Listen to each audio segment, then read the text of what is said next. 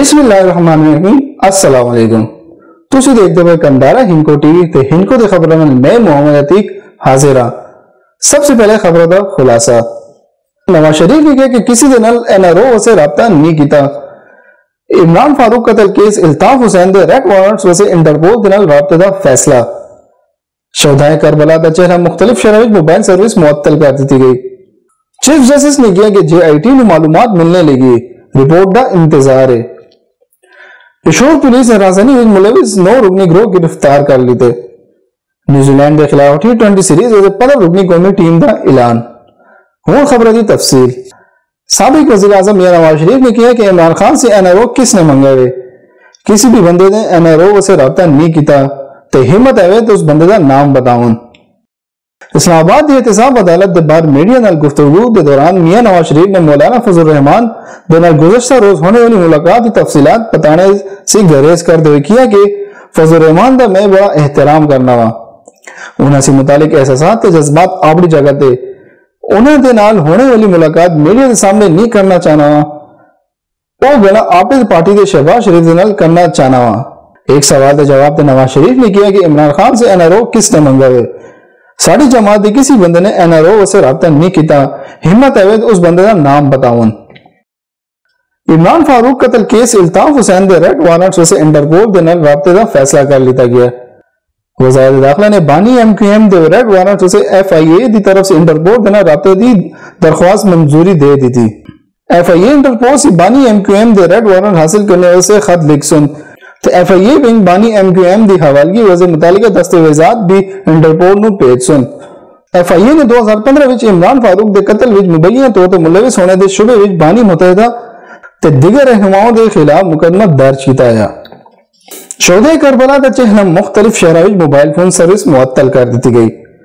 شہدہ کربلا دا چہلم اج منایا جاندا گیا ہے اس سلسلے وچ کراچی، سکھر، ملتان، لاہور تے راولپنڈی سمیت خیبر پختونخوا بلوچستان، آزاد کشمیر، دے مختلف اضلاع وچ موبائل، فون تے انٹرنیٹ سروس معطل رہسی۔ جبکہ کراچی، لارکانہ، نواب شاہ سمیت سندھ مختلف اضلاع وچ موٹر سائیکل دی ڈبل سواری تے پابندی ہے۔ ملک بھر وچ جلوساں دی سیکورٹی تے سخت ترین انتظامات کیتے گئے۔ تے جلوساں دے روٹ تے ٹریفک وسے بند کر دیتی گئی۔ چیف جسٹس پاکستان میاں ثاقب نثار نے جیلی اکاؤنٹس کیس دی سماعت دے دوران ریمارکس وچ کیا کہ جے آئی ٹی میں معلومات ملنے لگی ہوئے تے ہون رپورٹ دا انتظار ہے۔ سماعت دے دوران director general F I A Bashir Muhammad نے عدالت میں بتایا کہ اومنی گروپ دے گیارہ ارب انتیس کروڑ دے اثاثے بینکا دے کول موجود ہن۔ پشور پولیس نے راجدھانی وچ ملوث نو رکنی گروہ نو گرفتار کر لیتا۔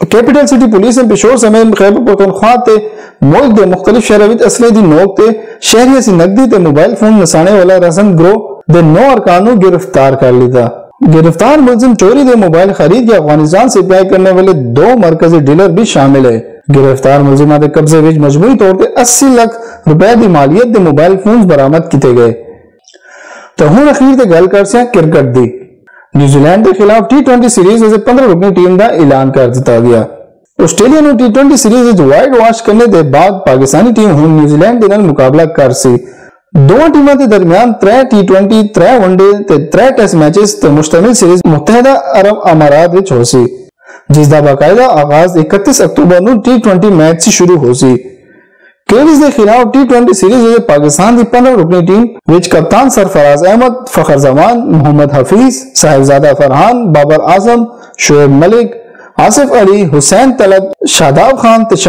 افریدی شامل ہیں اس دے علاوہ عثمان شنواری، حسن علی احمد وسیم، وقاص مقصود تے فہیم اشرف بھی اسکواڈ دا حصہ ہون۔ دو ٹیموں دے درمیان پہلا T twenty match Abu Dhabi, جس دے بعد دو تے چار نومبر نو دبئی انٹرنیشنل اسٹیڈیم وچ مزید میچ کھیڑے جاسن۔